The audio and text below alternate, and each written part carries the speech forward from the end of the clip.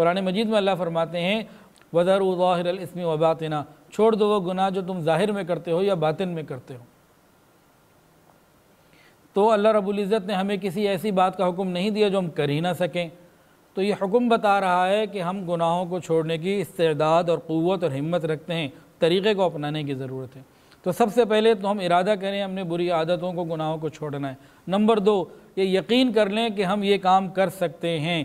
اس کے علاوہ اس کے فضائل کا استحضار کریں۔ حدیث کے اندر آتا ہے من الزنب کم اللہ ضمب لہو گناہوں سے توبہ کرنے والا ایسا ہے جیسے اس نے کبھی گناہ کیا ہی نہیں۔ اور حدیث کے اندر آتا ہے ابو حبیب اللہ۔ گناہوں سے توبہ کرنے والا اللہ کا دوست بن جاتا ہے۔ جب یہ فضائل ہمارے سامنے ہوں گے تو ہمارے لیے اور آسان ہو جائے گا۔ اس کے علاوہ ہمیں کیا کرنا ہے؟ بری عادتوں کو چھوڑنے کے لیے اور گناہوں کو چھوڑنے کے لیے اپنی صحبت کو نیک کرنا ہے۔ ہماری صحبت نیک ہو جائے، علماء کے پاس، صلحاء کے پاس مشائق کے پاس، اللہ والوں کی خدمت میں خود جائیں، اپنی بیویوں کو، بچوں کو لے کے جائیں، باپردہ ماحول میں اللہ والوں کی صحبت کو اختیار کریں۔ یہ صحبت کا اختیار کرنا یہ بہت ضروری، اس سے گناہوں سے بچنا آسان ہو جاتا ہے۔ آج باطل کی ایک بہت آسان پہچان کیا ہے کہ وہ آپ کو علماء سے روکے گا۔ علماء کون ہیں؟ نبی کے وارث ہیں۔ اللہ اور اس کے رسول کا دین کون بتائے گا اور سکھائے گا؟ علماء سکھائیں گے۔ باطل کی سب سے زیادہ کوشش بھی یہی ہے اور ایک عام سادہ سی پہچان یہ ہے کہ وہ علماء سے روکیں گے۔ اور یہ تفرقوں میں پڑے ہوئے لڑائی جھگڑے میں پڑے ہوئے ان سے دور رہنا۔ اس طرح کی باتیں عام آدمی سمجھ نہیں پاتا اور پھر اس ٹریپ میں آ کے علماء سے جب دور ہوتا ہے تو پھر شیطان اور نفس کے چنگل میں پھنس کر جہنم کے ٹریک پہ چل پڑتا ہے۔ ہم اپنی صحبت کو ٹھیک کریں اگر گناہوں کو چھوڑنا چاہتے ہیں۔ ہم اپنے گھر کے ماحول کو بہتر کریں۔ گھر کے ماحول کو پاکیزہ کریں، گناہوں سے پاک کریں گھر کے ماحول کو۔ گھر کا ماحول جتنا پاکیزہ ہوگا، منور ہوگا، اتنا ہمارے لیے گناہوں کو چھوڑنا آسان ہوگا۔ اور چھٹی چیز، ہم اعمال صالحہ خوب کثرت سے کریں، ذکر، اذکار، تلاوت زیادہ کریں۔ اس سے کیا ہوگا؟ ہماری روح قوت پکڑے گی اور ہمارے لیے گناہوں کو کرنا مشکل ہو جائے گا۔ اگر ہم گناہوں کو واقعی چھوڑنا چاہتے ہیں، تو یہ چند اعمال ہیں، ان کو کرنے سے ہم بری عادات کو چھوڑ سکتے ہیں اور گناہوں کو چھوڑ سکتے ہیں۔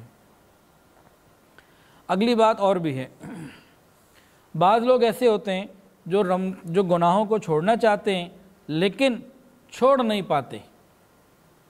اب میں ایک مثال دے رہا ہوں نماز فجر سے، لیکن اس کو تمام عادات میں، ہم تمام عبادات میں اپلائی کیے جا کر سکتے ہیں۔ دیکھیں ایک آدمی ایسا ہے، اس کی بری عادت یا گناہ ہے کہ وہ فجر قضا کر دیتا ہے، اٹھ کے پڑھتا ہے، اٹھا ہی نہیں جاتا۔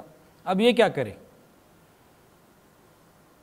یہ تو نماز کو ایگزامپل کے طور پر لیے، تمام عبادات میں اصول یہی بنا لے فارمولہ یہی بنا لے۔ اب کیا کرے جی؟ رات کو جلدی سونے کی کوشش کریں۔ الارم لگا کر سوئیں۔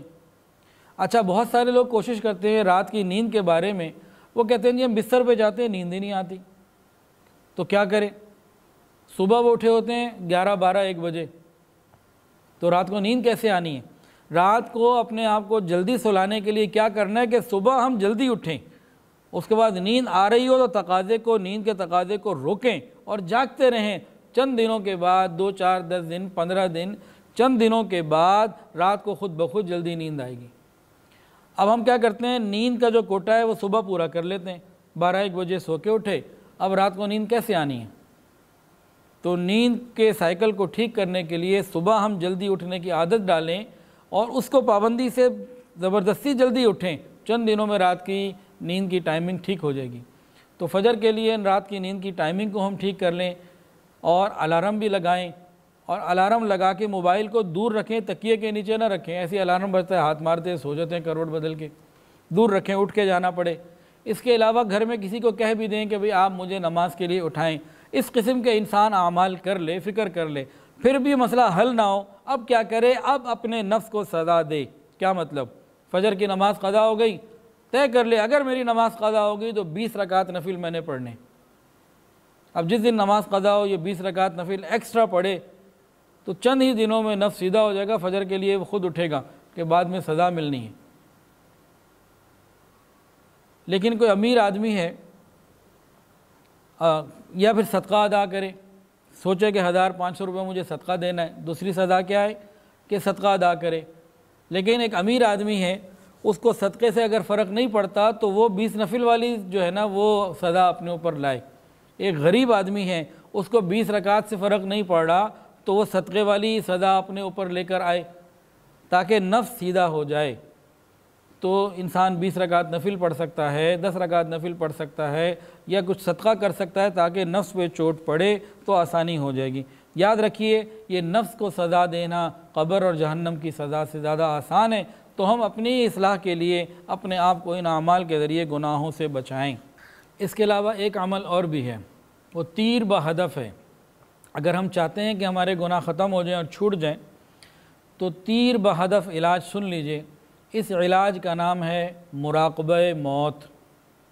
موت کا مراقبہ۔ کیا مطلب؟ کیسے کریں؟ ہم کسی دن رات کو لائٹس آف کر کے بستر پہ جب لیٹے ہوئے ہوں، تو یہ خیال کریں کہ موت کا فرشتہ اب آنے والا ہے۔ میرے پاس آئے گا، میری روح کو نکالے گا، رگ رگ سے روح کو نکال کے لے جائے گا۔ اس کے بعد پھر غور کرے کہ گھر والے رو رہے ہیں اور فرشتہ میری روح کو نکل کے لے کے چلا گیا۔ اب مجھے نہلایا جا رہا ہے، مجھے کفنایا جا رہا ہے۔ اب میرا جناب، نماز جنازہ پڑھی جا رہی ہے۔ اب مجھے قبرستان لے کے جایا جا رہا ہے۔ وہاں قبر پہلے سے کھدی ہوئی ہے۔ اب مجھے لوگوں نے ڈال دیا۔ اب میرے اوپر مٹی ڈال رہے ہیں۔ اور یہ مٹی ڈال کے اس کے بعد سارے کے سارے چلے گئے۔ آج منو مٹی کے نیچے میں تنہا اکیلا موجود ہوں۔ کوئی اور میرے پاس نہیں۔ ان چیزوں کو سوچے۔ اور اب سوچے کہ وہ جو میں نیک اعمال کیا کرتا تھا، نماز پڑھتا تھا، صدقات دیتا تھا روزے رکھتا تھا، سچ بولتا تھا، لوگوں کے ساتھ خیر خواہی کیا کرتا تھا۔ تو یہ تمام چیزیں میرے لیے قبر کے اندر جنت کا ذریعہ بن گئیں، میری قبر جنت کا باغ بن گئی۔ پھر آگے غور کرے کہ میں قیامت تک جن، قیامت تک میں قبر میں ہی رہا، پھر قیامت کا دن آیا۔ میں بھی قبروں سے نکلا، ساری مخلوق اپنی اپنی قبروں سے نکلی۔ اب محشر کے میدان میں جمع ہیں۔ میں چونکہ نیک اعمال کرتا تھا، نیک لوگوں کی صحبت میں میں رہتا تھا تو آج میں نیک لوگوں کی سنگت میں موجود ہوں۔ آج میں علماء کے ساتھ اور انبیاء کے ساتھ موجود ہوں۔ نیک لوگوں کی صحبت آج مجھے کام آ رہی ہے۔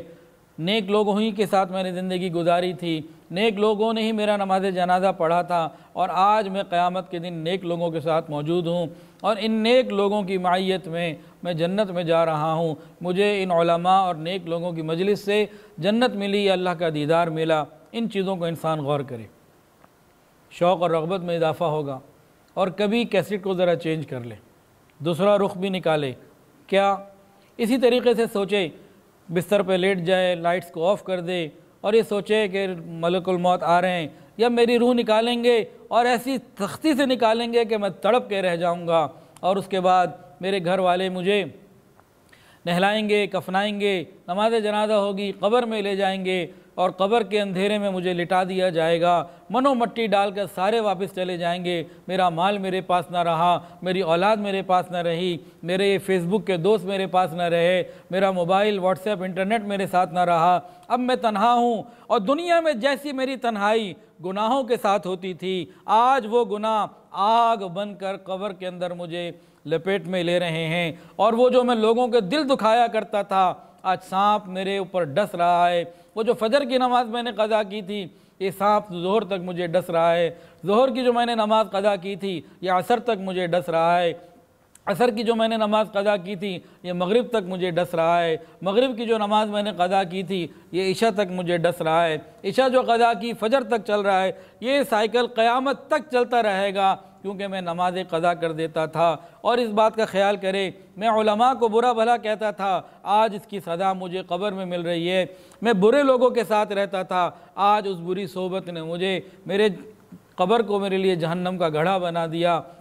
پھر سوچے کہ قیامت کا دن ہوگا، سب کو اٹھنا پڑے گا۔ نیک لوگ علماء تو انبیاء کے ساتھ ہوں گے، ان کو عرش کا سایہ مل رہا ہے۔ اور میں اپنے انہی گناہ گاروں کے ساتھ اور اپنے برے دوستوں کے ساتھ، جن کے ساتھ میں رات کی تنہائیوں کو حرام کام کیا کرتا تھا، میں موبائل فون کا حرام استعمال کرتا تھا، میں اپنے برے دوستوں کے ساتھ آج جمع ہوں۔